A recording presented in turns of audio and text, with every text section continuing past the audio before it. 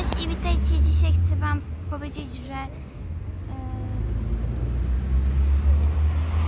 e że jutro e, dzisiaj będzie film e, Wicher 2 lub jutro. Zobaczę jak się prześle film, ale na pewno będzie